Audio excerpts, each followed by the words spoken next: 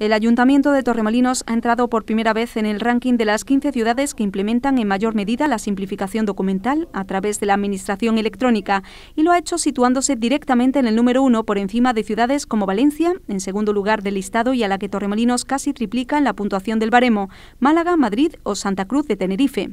Así lo ha dado a conocer el Observatorio de la Administración Electrónica, OBSAE, dependiente de la Secretaría General de Administración Digital del Ministerio de Hacienda y Función Pública, en el listado de uso de la plataforma de transmisiones de datos en los municipios desde el 1 de enero hasta el 31 de octubre del presente año.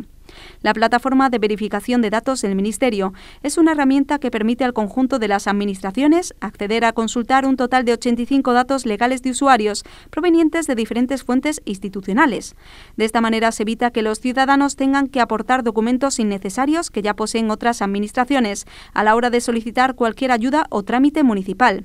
Según los datos del OPSAE, Torremolinos lidera el número de transmisiones o verificaciones de datos a las diferentes administraciones, de manera que el número total asciende a 108.786 consultas por cada mil habitantes, mientras que en el Ayuntamiento de Valencia, por ejemplo, el número de transmisiones se sitúa en 39.069.